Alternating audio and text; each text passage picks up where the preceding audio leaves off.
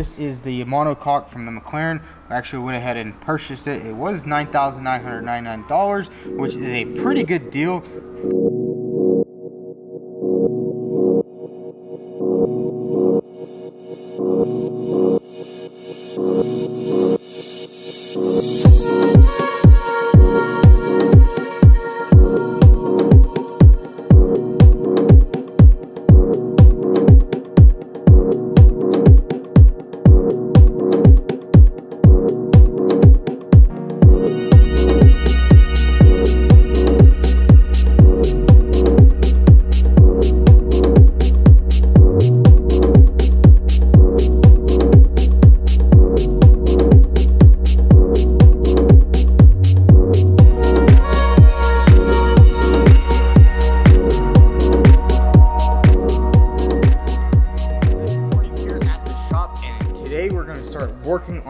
This rear subframe back on the car and also go ahead and get the fuel tank in there. And then we can pretty much just start transferring everything else like the wiring and everything from the inside and straight to this car. And finally, guys, we are at the stage of putting stuff back together because it's been a long road to get here. Just taking everything